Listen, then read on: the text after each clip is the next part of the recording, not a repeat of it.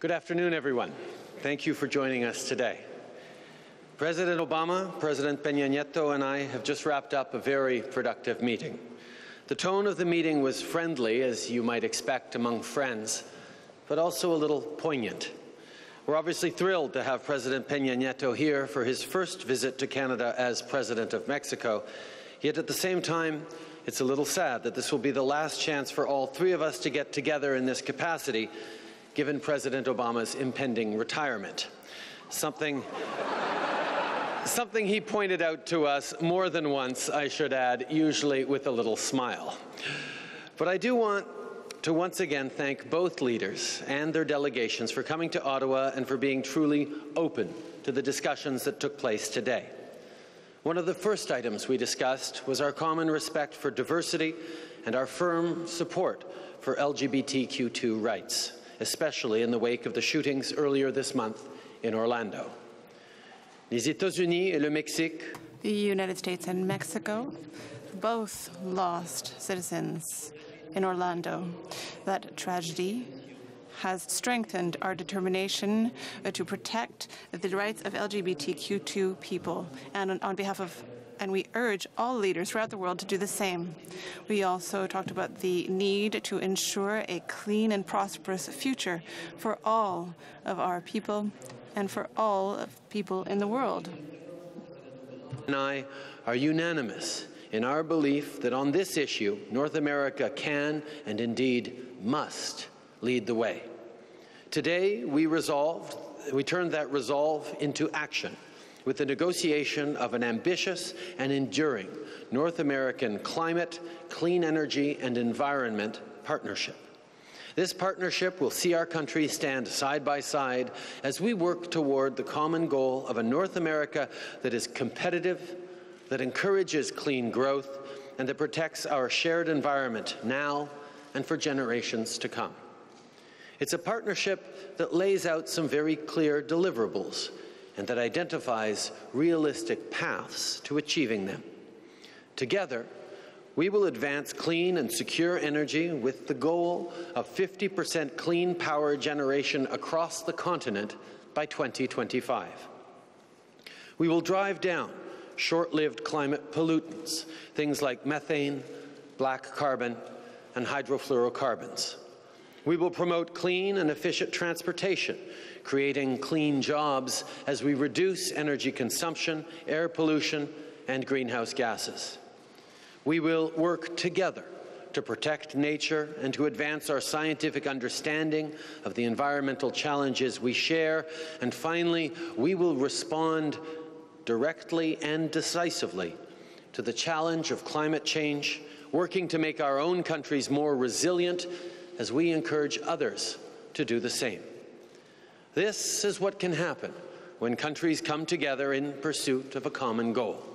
When we have a big idea and the political will to make it happen. Today's climate agreement stands as proof that cooperation pays off and that working together always beats going it alone. There were, of course, other issues on the agenda as well. Nous avons également eu l'occasion We also had the opportunity to talk about ways of advancing trade and competitiveness in North America. It's essential to each of our economies, and it is vital for the creation of good jobs for the middle class. Furthermore, we reasserted our common commitment to human rights, and we discussed uh, the aspects on which we could be better partners to ensure the protection and defense of fundamental rights. We also discussed regional and worldwide issues that are urgent, and we talked about the way we will work together to meet these common challenges. about how to better cooperate on defense.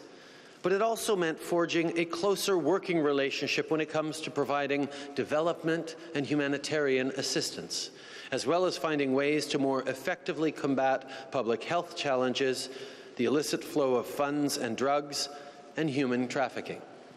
As I said, the conversations were friendly but also frank, and I'm reassured and encouraged by the progress we were able to make today.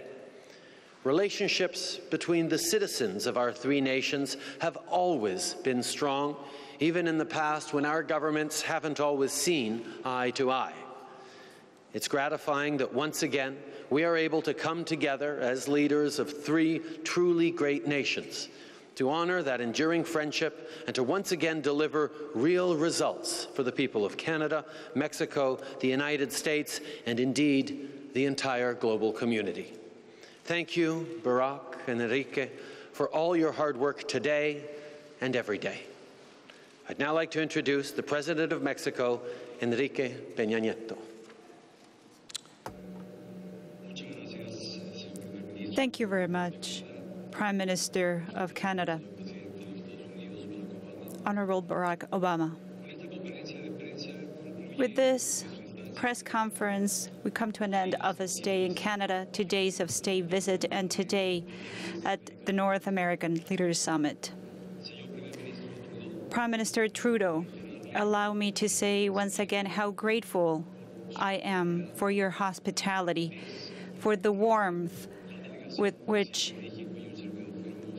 we were received, myself and my delegation. We were warmly welcomed in this country. We're going back to Mexico with memories of the warm welcome that the Canadian people showed in Quebec, in Toronto, and Ottawa. We're going back to Mexico fully convinced that we have renewed our bilateral relationship with Canada. Canada, in yourself, Canada has a leader that is going back to universal values that make Canada stand out in the world. President Barack Obama, I would like to say that we acknowledge your determination to have a more united, integrated, and competitive North America, a more prosperous and inclusive North America. I would like to highlight, specifically being the last North American Leaders Summit that you will attend to as the President of the United States, I would like to acknowledge that Mexico recognizes the fact that you have promoted along Mexico a strategic partnership, and you have always been prone and willing to work towards a bilateral agenda that covers different fronts beyond security. In the process of generating clean energy, you have favored those efforts. You have always favored a more expedited trade, a safer border, more competitiveness in our trade. You have always been in favor of having cooperation in education and cultural matters. Have always been willing to push technology and science forward. But there is no doubt that your legacy also covers other regions of Latin America. You have reestablished a relationship with Cuba. Have supported the development of Central America. And in the Summit of the Americas as well, you have contributed to its advancement. We would like to acknowledge as well your tireless efforts made towards the advancement of the environment and to, of addressing the challenges of global warming. There is no doubt that your presidency has helped to build and reaffirm the candid relationship that the United States and Mexico have. During this trilateral summit, the governments of Canada, the United States, and Mexico, we have reaffirmed our decision to work together with a vision, with resolve to advance economic integration in North America. In order to fulfill this goal, Mexico values that in the Trans-Pacific Partnership, there is a great opportunity to reaffirm this level of integration between the three countries that are part of NAFTA. But besides that, we are taking this opportunity to other regions of the world, specifically towards Asia. I believe that the advantages, the benefits, and the beauties that this integration will carry and has carried along for the benefit of our societies can be extended when the Trans-Pacific Partnership is approved. Mexico supports this effort with enthusiasm. This partnership, the, this agreement is at the Senate in the process of being approved. We are fully convinced that by working together and by taking stock of our complementarity, we can be the most competitive region in the world. As Prime Minister Trudeau has said during this summit, we have worked on addressing four priorities climate change, clean energies and environment, competitiveness at the borders, and trade, security, and defense, and regional and global issues.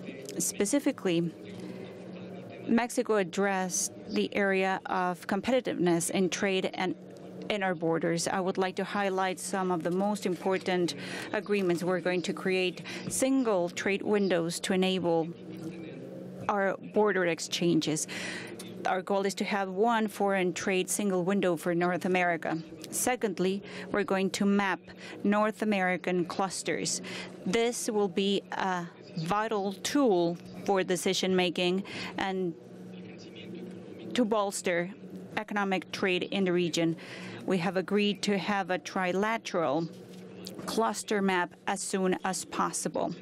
And thirdly, I should mention the trilateral program for trusted travelers. Mexico has proposed that this program uses global entry platform that uh, Canada and the United States already have, and this year we will implement the electronic kiosks platform that is already present in different airports in the United States and Canada. This system end result will be used in North America as a whole. And this will be a system that will enable and expedite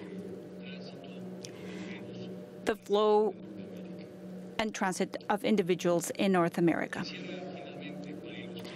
Finally, I would like to use an example to describe our level of integration. The preservation of the monarch butterfly conservation. This is a species that in its pilgrimage, we can see how our countries are intertwined. And uh, back in our last summit, we agreed that we would take care of this species and make sure that in its journey, the monarch butterfly from Canada flying through the United States all the way down to Mexico. And the figures speak for itself. In the year 2014, in our country, the area where butterflies reached that eventually reached only covered less than one hectare, 0.6 hectares. Due to the efforts made by our trilateral task force created for that purpose last year, this year's the surface in my country now extends to 4.1 hectares, and we are en route that by 2018, this figure would grow to 6 hectares, and eventually that would be our goal for the monarch butterfly reserve in in Mexico, and by that we will be making sure the migration of this this species is the symbol of the relationship that Canada, the United States, and, and Mexico have. The North American Leaders Summit bears witness that isolated national efforts are insufficient if we want favorable results for the benefit of our societies, it is better to work together as a region. We all know that vis-a-vis -vis global challenges, isolationism is not the solution. In contrast with what happens in other corners in the world, the countries in North America, we have decided to be closer, to work as a team, and to complement each other and to make progress together as the most competitive region in the world. Thank you very much. President Obama. Well, good afternoon. Bonjour. Buenos tardes. I want to thank my friends and partners, Prime Minister Trudeau and President Peña Nieto, uh, to Justin and the people of Ottawa and Canada, thank you for your wonderful hospitality. Uh, this is my fourth North American Leaders Summit uh, and the first that Canada is hosting in nearly a decade. And this reflects the new commitment that Prime Minister Trudeau has brought to our shared vision of a strong and integrated North America. So thank you so much, Justin. Let me start by once again commenting on the horrific terrorist attack that took place yesterday in Istanbul's main international airport, which is one of the busiest airports in the world. Uh, the prayers of the American people are with the people of Turkey, the people of Istanbul, uh, and all those who were affected by this terrible crime. Uh, we have offered all assistance uh, that we have available to our ally, Turkey, and we stand prepared to assist them during this difficult time. Uh, we're still learning all the facts, but we know this is part of our broader shared fight against terrorist networks and we will continue to work closely with Turkey to root them out. And meanwhile, we're going to do what's necessary to protect our people. Uh, I'm confident that we can and we will defeat those who offer only death and destruction, and we will always remember, even as there are those who are trying to divide us, that we are stronger when we come together and work toward a better world together. We're reminded of this basic fact at this summit. Combined, our three nations are home to nearly 480 million people. We are bound together by family, including millions of immigrants who trace their roots to each other's countries. Uh, we're not only among each other's top trade partners, we are a global hub of innovation with integrated economies and supply chains and co-production that span our borders. Uh, on every security and global challenge, we are partners and we're united by common values of democracy and pluralism and a commitment to human dignity. Over the past eight years, I've worked to strengthen our partnerships with our friends in the Americas, and that begins with strengthening our relationship with Canada and Mexico. During my administration, for example, we boosted U.S. exports to Canada and Mexico by about 50 percent. That supports about 2.8 million American jobs. And today, as Justin Enrique described, we agreed to build on that progress in several key areas. First, we agreed to make it even easier to do business together so that our region is even more competitive. We're bringing more advanced technologies and automation to our border crossings, which will reduce wait times for travelers and make it more affordable to trade. By the end of this year, we'll have a single trusted traveler program for all three of our countries, which will make it easier to travel while at the same time improving security. We'll continue to align our standards and regulations, which is especially important for small businesses who want to export more. We're going to do more together to promote women entrepreneurs and minority-owned businesses to succeed as well. And we're going to keep expanding our educational exchanges among our students. As has been mentioned, we discussed the Trans-Pacific Partnership uh, the politics of trade are always difficult in every country. I don't know any country where there aren't going to be some folks who argue against trade. But we all believe that in a integrated global economy, the goal is not for us to try to shut ourselves off from the world, but rather to work together to raise standards around the world for workers and for the environment. And that's exactly what TPP does. It's the right thing to do and we're going to keep working for it. Given the flood of steel and aluminum on global markets, however, it points to the fact that free trade also has to be fair trade. And our three countries agreed to work together on a range of trade measures to enforce our rights and protect our workers and ensure a level playing field for the steel and aluminum industries here in North America. And given the vote uh, of the United Kingdom to leave the European Union, our economic teams are going to continue to work together so that we remain focused on keeping our economies growing and making sure that the global financial system is stable, something I'm confident that we can do. Second, we're making sure that North America remains a leader in the fight against climate change. And I could not be prouder of the work that uh, Justin Enrique uh, have done uh, to help realize this important goal. All three of our nations are now committed to joining the Paris Agreement this year so we can bring it into force. We're announcing a new goal across our continents of generating 50% of our electricity with clean power by 2025, which is a bold goal but is an imminently achievable goal. The United States government's making a major commitment to purchase more clean energy for federal facilities and more clean and efficient government vehicles, and all three of our countries are committed to reducing methane emissions from the oil and gas sector by 40 to 45 percent by 2025. Third, we're going to do more to make sure that we're looking after the safety and health of our citizens from the danger of illicit drugs. And we're particularly focused right now on the epidemic of opioid abuse, including heroin, that is taking so many lives and devastating so many families. Our teams will meet this fall to make sure that we're coordinating our efforts, including more access to treatment, and as always, we will continue to be relentless against the criminals and narco traffickers that are inflicting so much violence on communities. Fourth, we're deepening our cooperation on regional and global challenges. Joint efforts against diseases like Zika, helping our Central American partners address poverty and violence that have led to so many families and children making an extraordinarily dangerous trip uh, to flee uh, difficult circumstances. I want to thank Justin and Enrique for their government's strong support of our new approach to Cuba.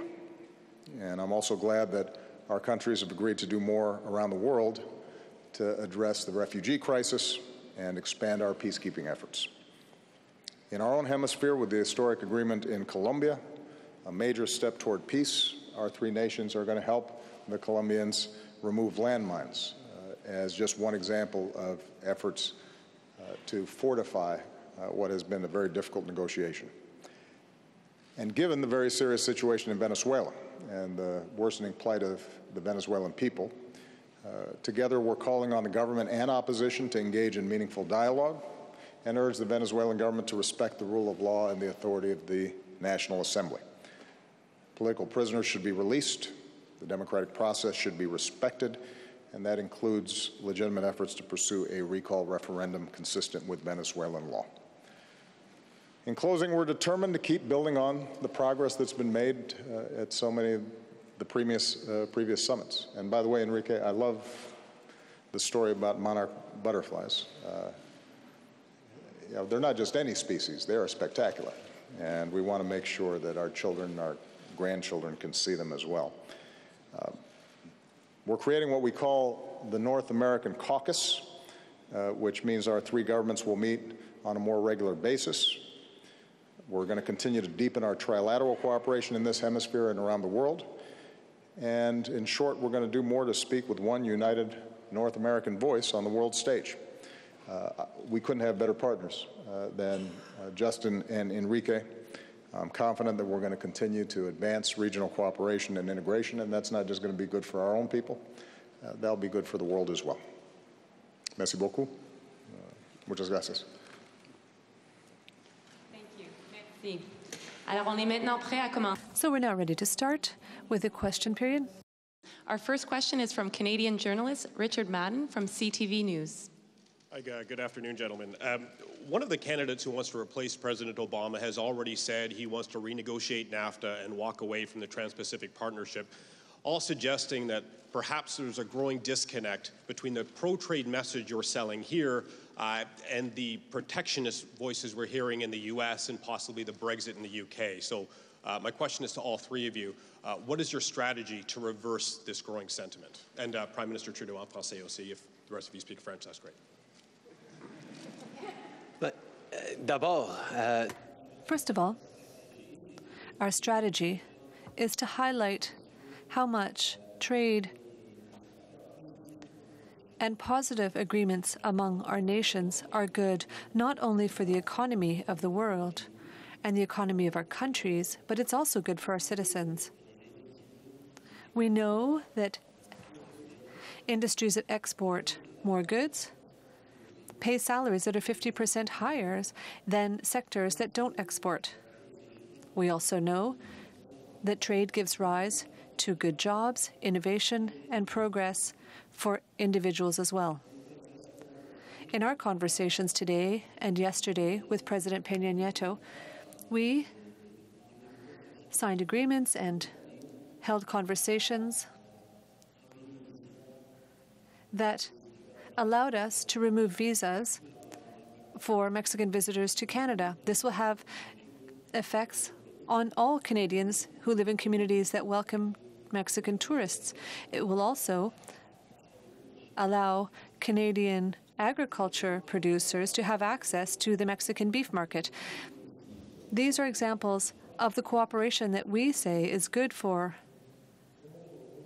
the North American market, but also good for the entire world.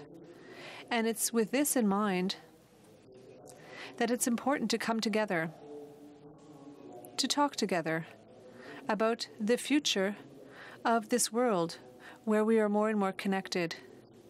And we have to agree more and more in this world.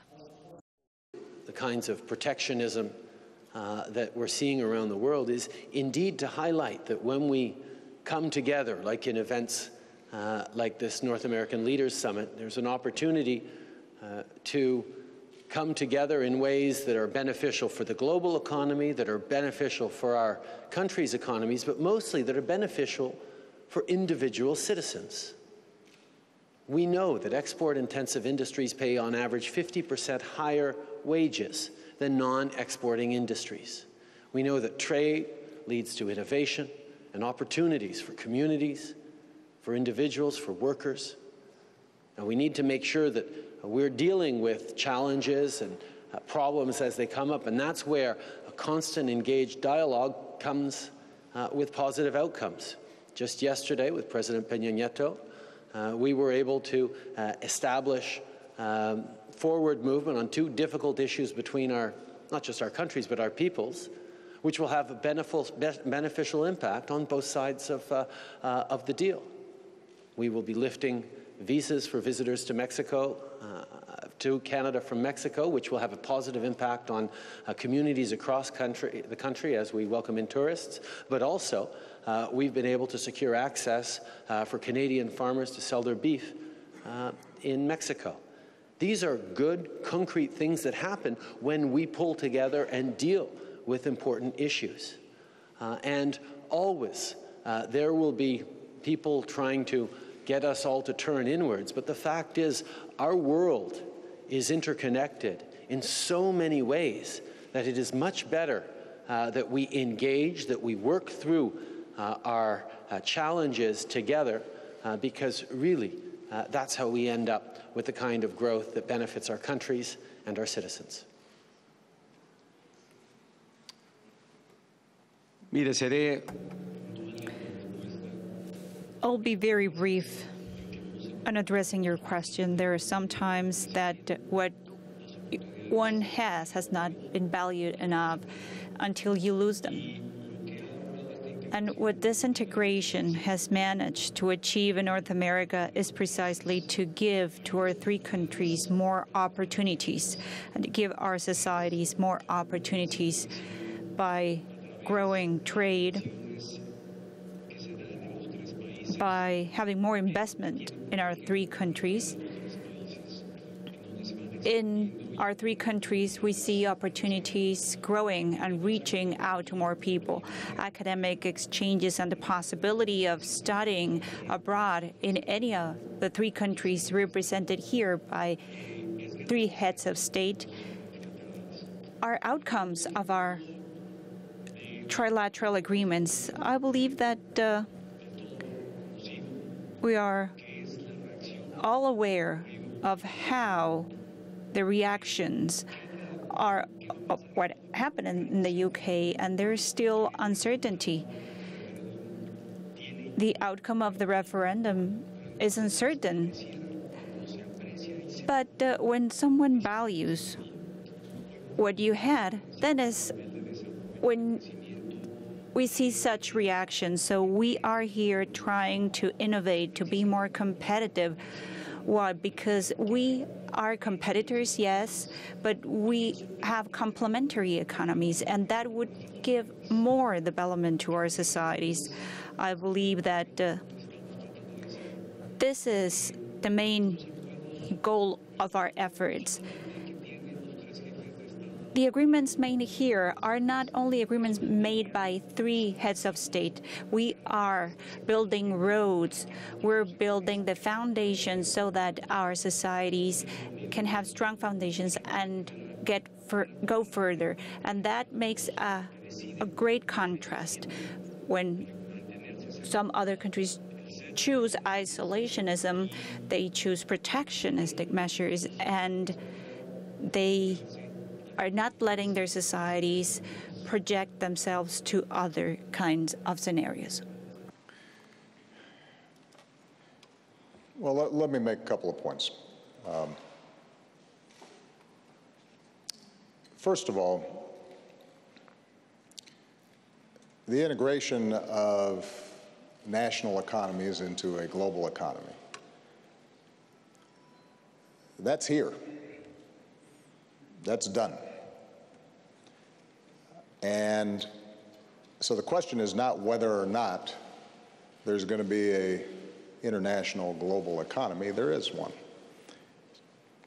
Technology, travel, massive car cargo containers that can ship goods back and forth, the fact that a company can move capital around the world in the blink of an eye, the fact that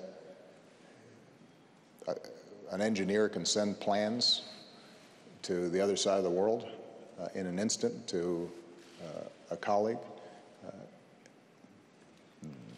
th those are facts. So we have an integrated economy already. The question is, under what terms are we going to shape that economy?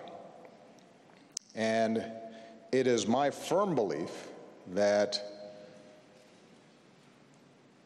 making sure that how we trade, how we exchange goods,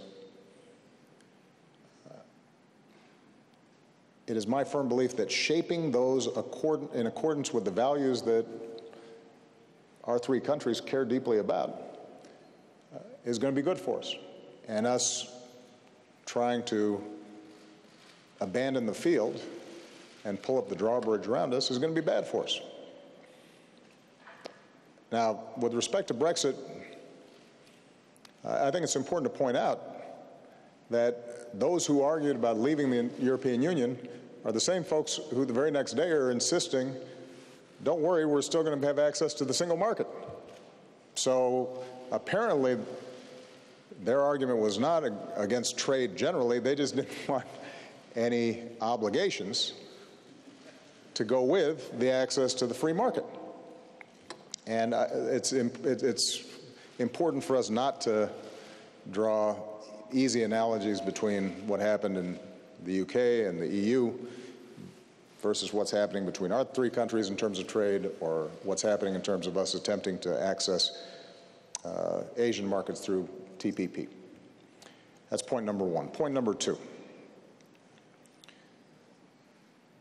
Ordinary people who have concerns about trade have a legitimate gripe about globalization. Because the fact is that as the global economy is integrated, what we've seen are trend lines across the advanced economies of growing inequality and stagnant wages and a smaller and smaller share of overall productivity and growth going to workers and a larger portion going to the top 1%. And that's a real problem because if that continues, the social cohesion and political consensus needed for liberal market economies starts breaking down. So, so they're right to be concerned about that. I'm concerned about it, Justin's concerned about it, and Enrique is concerned about it. The question is, what do you do about it? And the prescription of uh, withdrawing from trade deals and focusing solely on your local market, that's the wrong medicine. First of all, because it's not feasible, because our auto plants, for example, would shut down if we didn't have access to some parts in other parts of the world. So we'd lose jobs. And, and the amount of disruption that would be involved would be enormous. Uh, secondly, we'd become less efficient. Costs of our goods in our own countries would become much more expensive. And this nostalgia about an era when everybody was working in manufacturing jobs and you didn't need a college degree and you could go in and as long as you worked hard, you could support a family and live a middle class life. That has been undermined far more by automation than it has been by outsourcing or the shift of jobs to low income or, or low wage countries. I mean, the steel industry is producing as much steel in the United States as it ever was. It's just it needs one tenth of the workers that it used to. And this is why you know, uh, my pushback on both the left and the right when it comes to protectionism or anti trade arguments is you are right to be concerned about the trends, but what you're prescribing will not work. And there's a better way of doing this. And the better way of doing it is countries like ours that have high wage, uh, high labor standards and high environmental standards and strong protection of intellectual property and rule of law, we've got to get out there and help to shape those rules so that they work for our workers and our businesses. Because if we don't, China will write the rules, and they may not have the same regard for the values that we care about. Other countries will write the rules in ways that disadvantage our workers and our businesses. In Asia right now, there are a whole lot of tariffs that keep our products out, but because we happen to be some of the most open nations in the world, they're selling our stuff in. So, so we can't disengage, we got to engage more. And if we combine that with investments in education and tax policies that are fair and making sure that college is affordable and we're strengthening the safety net and we're rebuilding our infrastructure, which are jobs that cannot be exported, and we're making investments in research and development. And we're building an inclusive society uh, in which everybody's got a fair shot. That's how we're going to solve these problems. And what is absolutely true is, is that too many uh, folks who've been in charge around the world have neglected that side of the equation. So we're, we're going to keep on pushing hard to shape a, an international order that works for our people. But we're not going to be able to do that by uh, cutting off trade because that's going to make all of us poor. Merci. On est maintenant prêt pour la Thank you. We can now take the second question. Danielle Venegas, Milenio. Good afternoon. I would like to ask you we have the election process going on in the United States. There is an anti immigrant and anti Mexican rhetoric by Donald Trump. I would like to ask you did you address this issue during your meeting? And how can you ring fence the agreements that you have described and the positive outcomes of your trilateral relationship? What would happen if someone who is not in, in agreement, he has said it that NAFTA would they would step back from NAFTA? What did you address in your meetings? Thank you. Pasaré por decir que I would like to begin by saying that uh,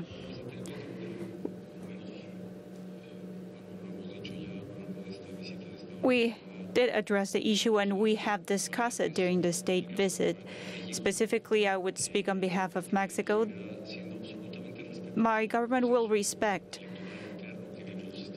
the election process, which is a domestic process for the United States. We are getting ready to work with whom able turns out to be president of the United States.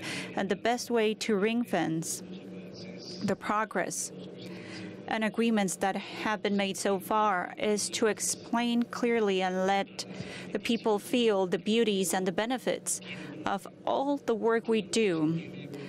Most of what we have today, it's not random. It might be a gift from God, but it is actually the outcome of our work, of the foundations and the work we have done so far. And I believe that in the end of the day, what we managed to achieve today would teach us a lesson. It would be for the Americans to define who would provide them better guarantees to move into the path towards growth and development based upon what we have managed to build in the past.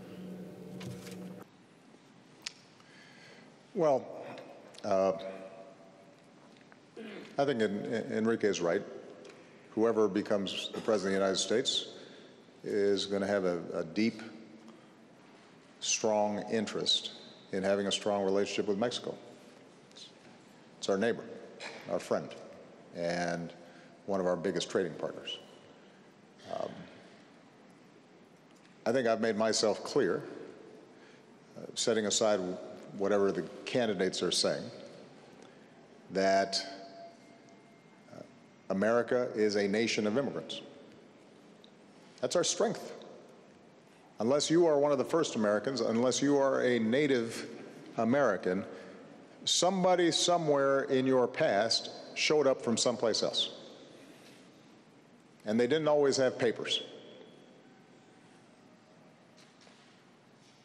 And the genius of America has been to define ourselves not by what we look like or what our last name is or what faith we practice, but our adherence to a common creed. A belief that all people are created equal, a belief in free speech and freedom of assembly and democracy and pluralism and tolerance and rule of law. And we have observed those ideals uh, imperfectly at times, but in each successive generation, we've gotten a little bit better at it. We've come closer to our ideals. Uh, and the notion that somehow we would stop now on what has been a tradition of attracting talent and strivers and dreamers from all around the world, uh, that, that would rob us of the thing that is most special about America. And I don't think it will happen. Now, uh, people are genuinely concerned about uh, immigration that is not orderly, people pouring across borders without uh, you know, having gone through some sort of process. It adds to people's sense that uh, things are out of control.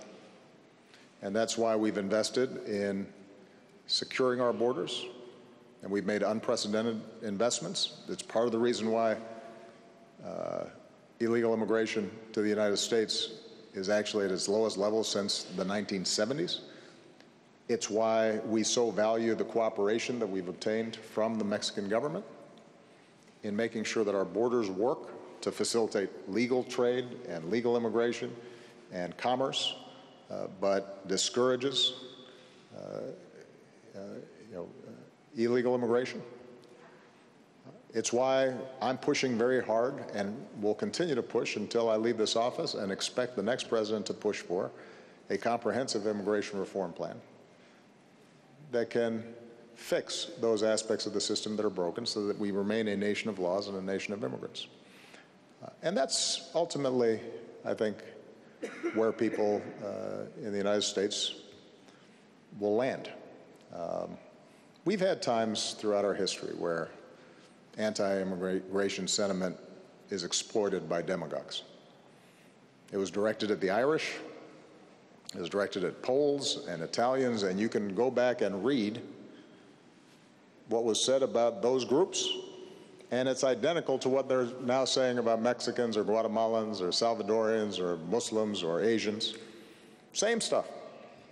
They're different, they're not going to fit, they won't assimilate, they bring crime, same arguments. You, you go back to the 1800s, the language is identical. But guess what? They kept coming. And they kept coming because America offered possibility for their children and their grandchildren. And even if they were initially discriminated against, they understood that our system uh, will over time allow them uh, to become part of this uh, one American family. And so uh, we should take some of this rhetoric seriously and answer it boldly and clearly. Uh, but, uh, but you shouldn't think that that is representative of uh, how the American people think.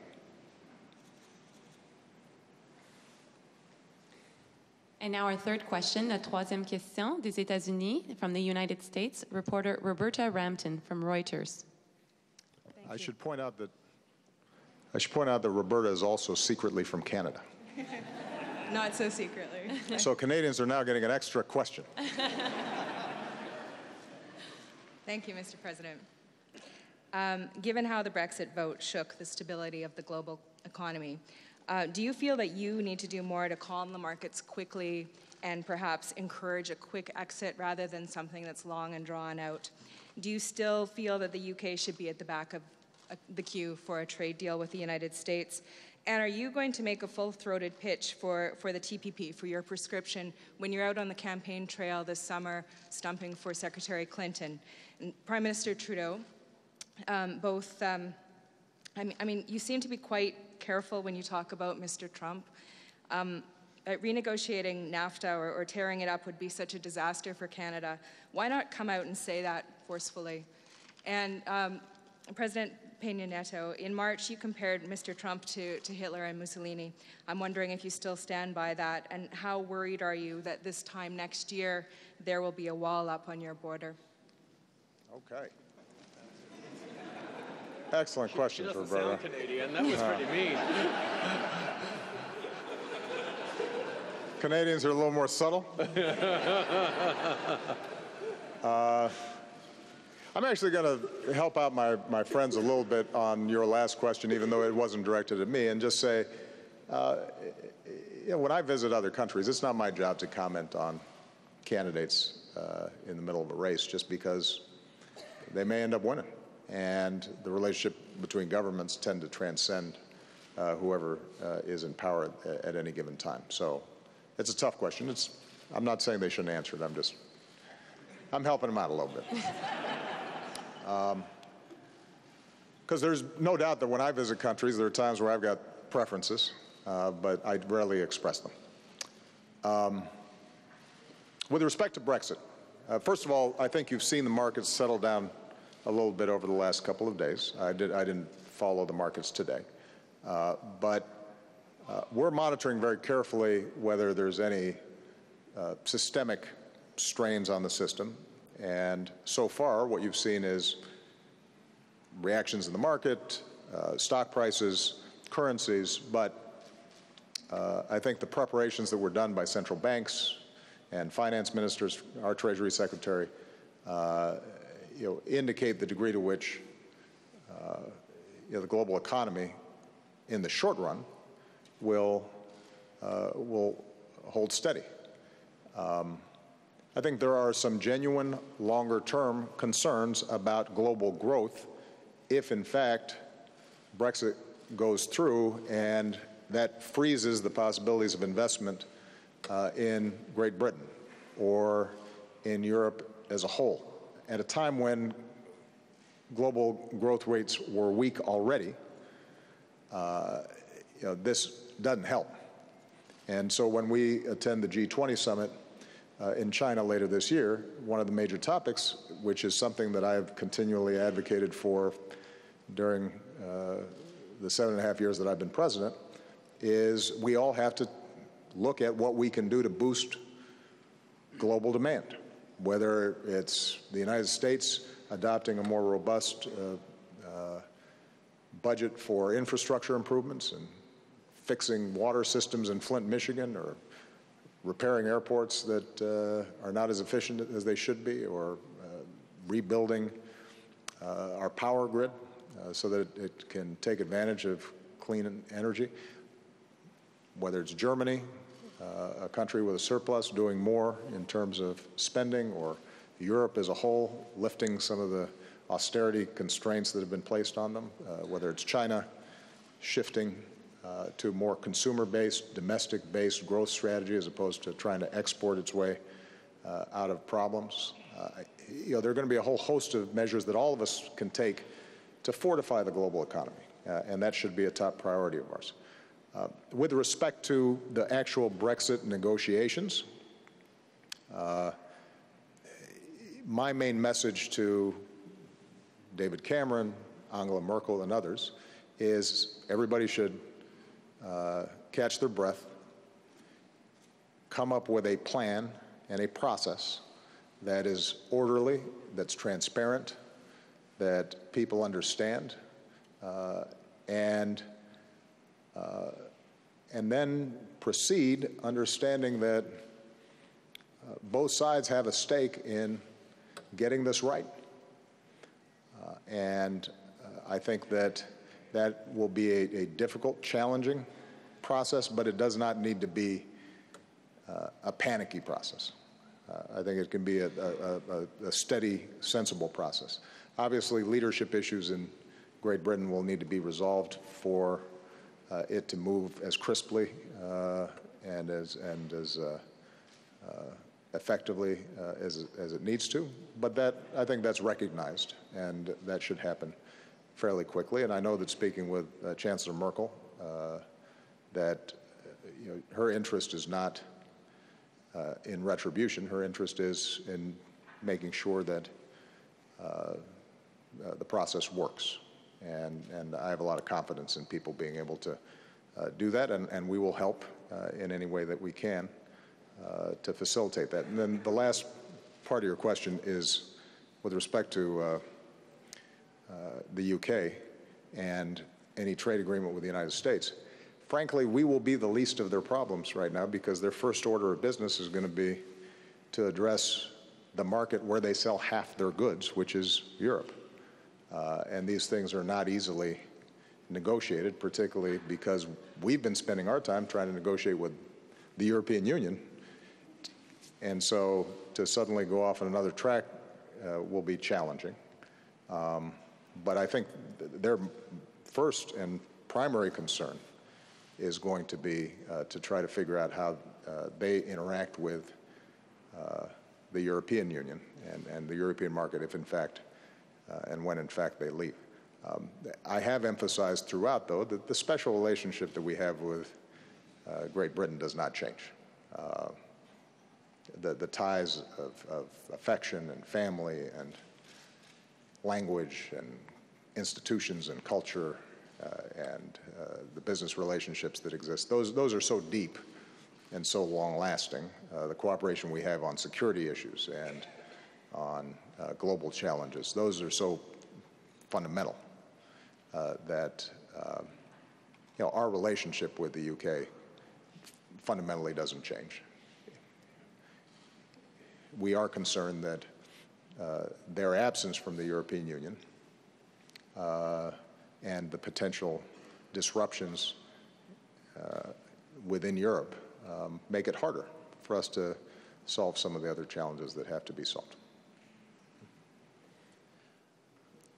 One of the things that's easy to forget uh, amid the uh, inflated rhetoric of an election campaign uh, is that the relationship between our three countries goes far deeper than uh, any individual leaders.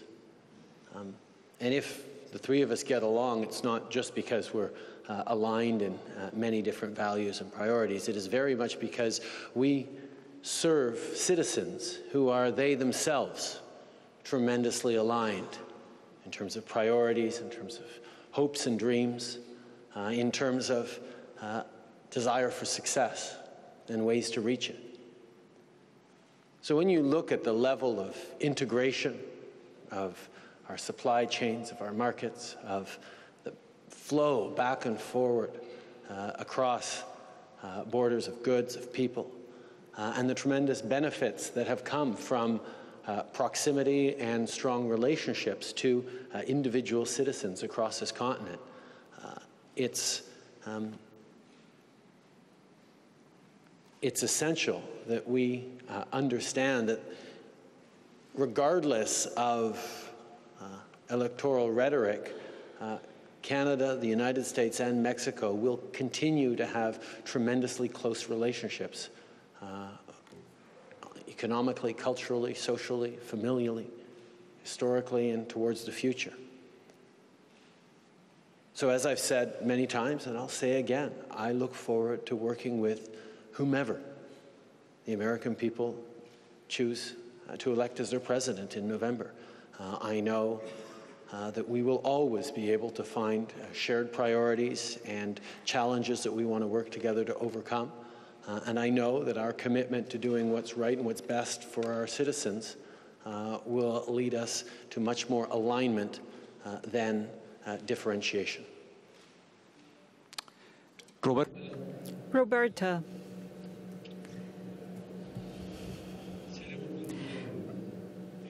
I'll go straight to the point to describe the stand of my administration and my own very personal point of view. I've said it and I'll say it again my government will respect fully the domestic electoral process in the United States. I don't think I've said anything different from what I'm stating once again here.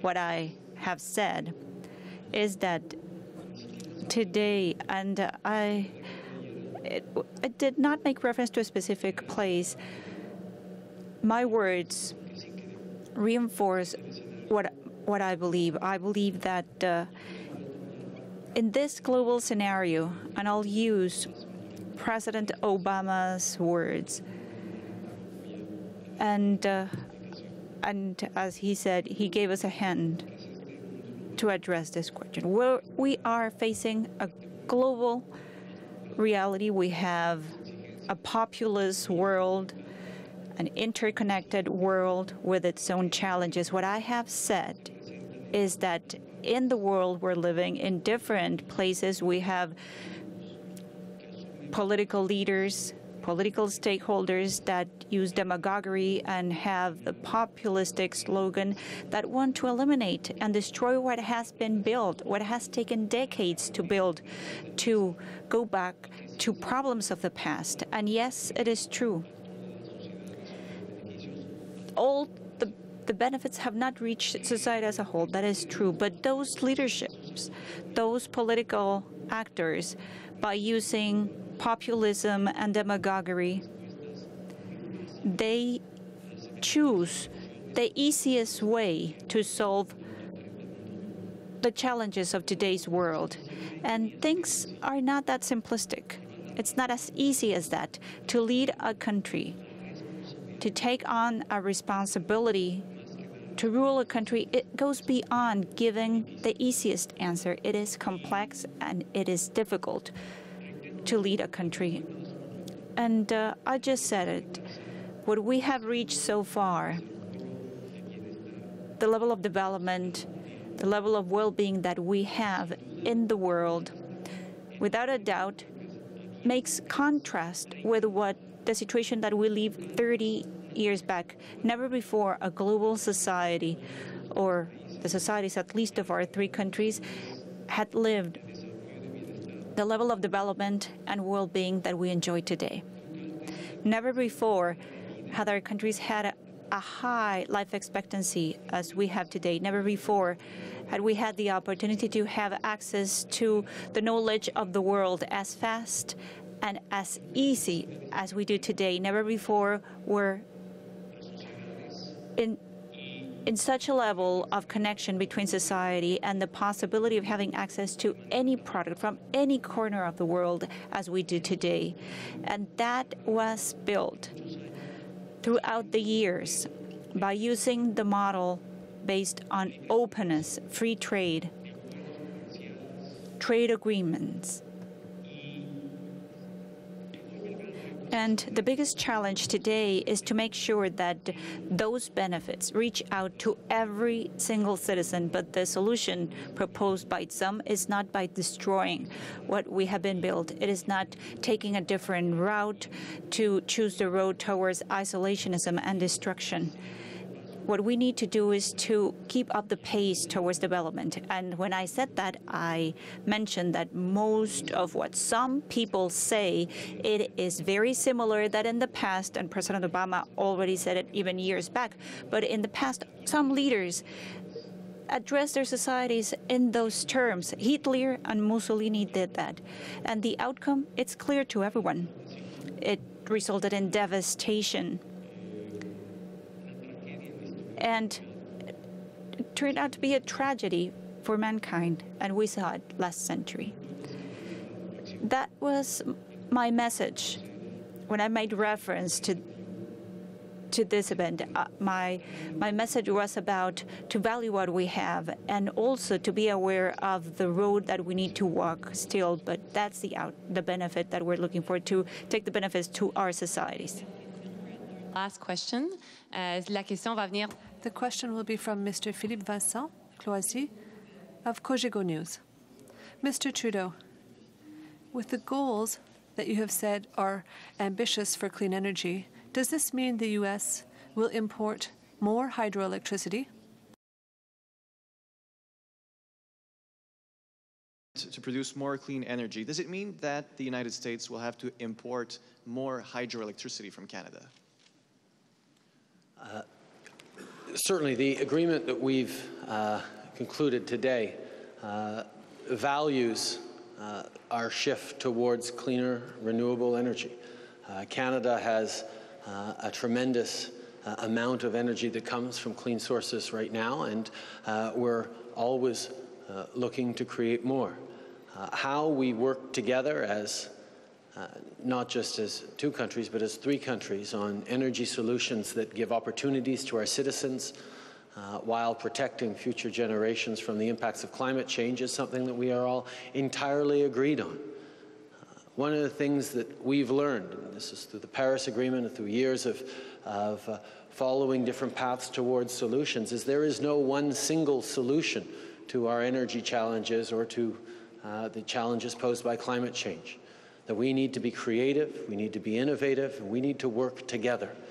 And that's why the conclusion of this uh, ambitious continental energy strategy uh, is so important in how we are going to uh, do not just our share to combat, the global challenge that is cli climate change, uh, but uh, to demonstrate leadership uh, and show that clean energy, and clean growth uh, are exactly the solution uh, and the opportunity that we face because of climate change.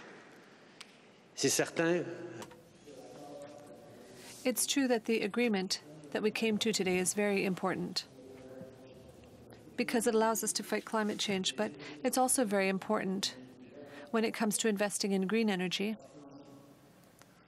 clean growth in our country. I know that we will have to pursue multiple different solutions when it comes to clean energy.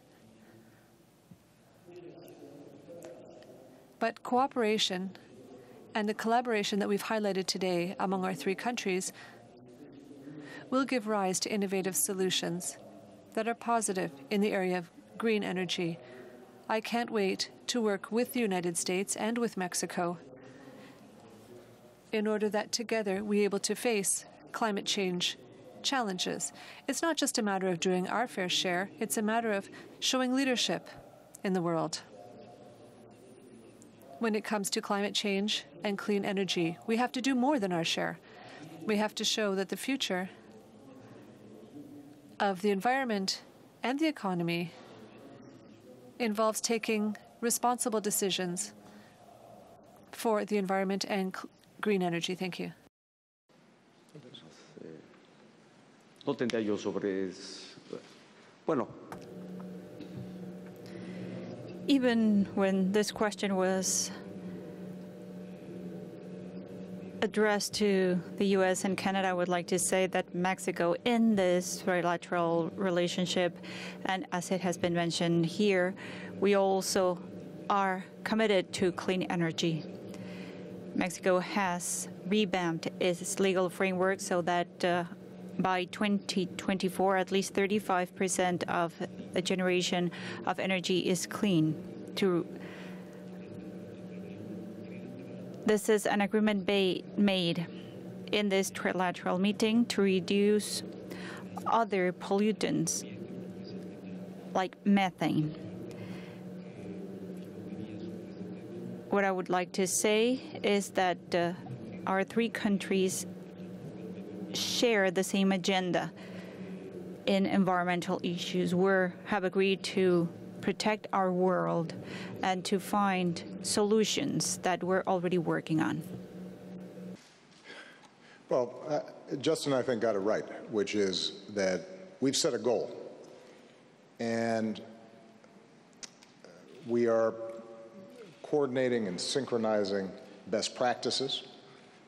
Uh, and there's going to be an energy mix in each of our countries that's going to be different. And some of it's going to be determined by what natural resources we have. It's going to be determined by uh, how well we can integrate the grid uh, and transmission of power. Uh, so there may be some wonderful hydroelectric power that we'd like to get to the United States.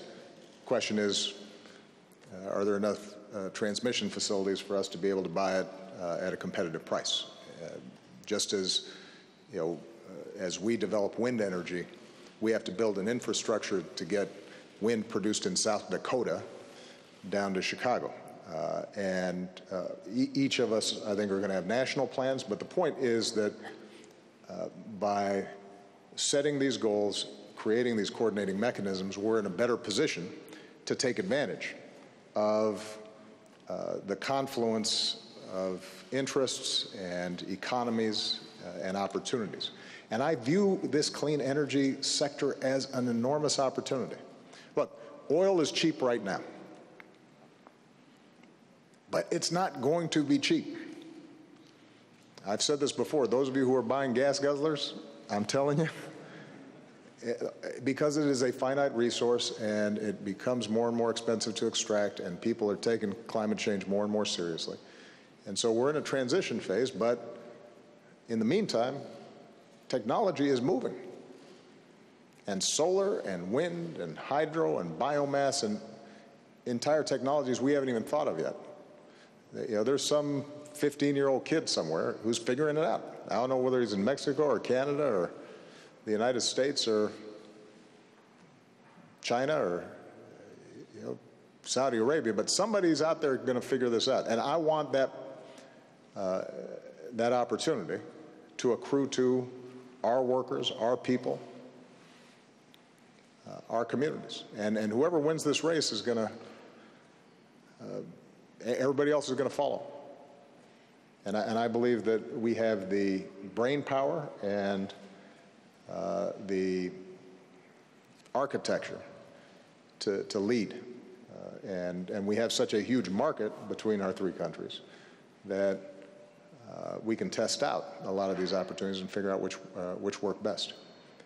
If you'll allow me, I want to say one last thing, though, because it's been a running thread in a bunch of uh, questions, and that's this whole issue of populism. Maybe somebody can pull up in a dictionary quickly uh, the phrase populism, but I, am not prepared to concede the notion that uh, some of the rhetoric that's been popping up is populist. I, you know, when I ran in 2008, and the reason I ran again, and the reason even after I leave this office, I will continue to work in some capacity in public service, is because I care about people and I want to make sure every kid in America has the same opportunities that I had. And I care about poor people who are working really hard and don't have a chance to advance. And I care about workers being able to uh, have a collective voice in the workplace. and get their fair share of the pie. And I want to make sure that kids are getting a decent education and a working mom has child care that she can trust. And I think we should have a tax system that's fair and that folks like me who have been have benefited from the incredible opportunities in my society should pay a little bit more to make sure that somebody else's kids who weren't as lucky have those same opportunities. And I, th- I think there, be, there, should be curbs on uh, the excesses of our financial sector so that we don't repeat the debacles of 2007 and 2008. And I think there should be transparency uh, in how our systems work so that we don't have people dodging taxes by setting up offshore accounts uh, in other places and avoiding the responsibilities that their fellow citizens who don't have fancy lawyers and accountants uh, you know, that, that, that, that, they can't benefit from, from uh, those same tricks. Now, I suppose that makes me a populist. Now, somebody else who has never shown any regard for workers, has never fought on behalf of social justice issues or making sure that poor kids are getting a decent shot at life or have health care. In fact, have worked against economic opportunity for workers and ordinary people. They don't suddenly become a populist because they say something controversial in order to win votes. It's not the measure of populism.